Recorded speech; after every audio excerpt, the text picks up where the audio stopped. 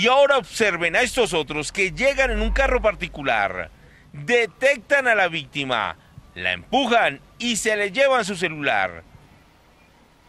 Dicen los afectados del sector de Tunjuelito que a diario están hurtando en esta zona del sur de Bogotá.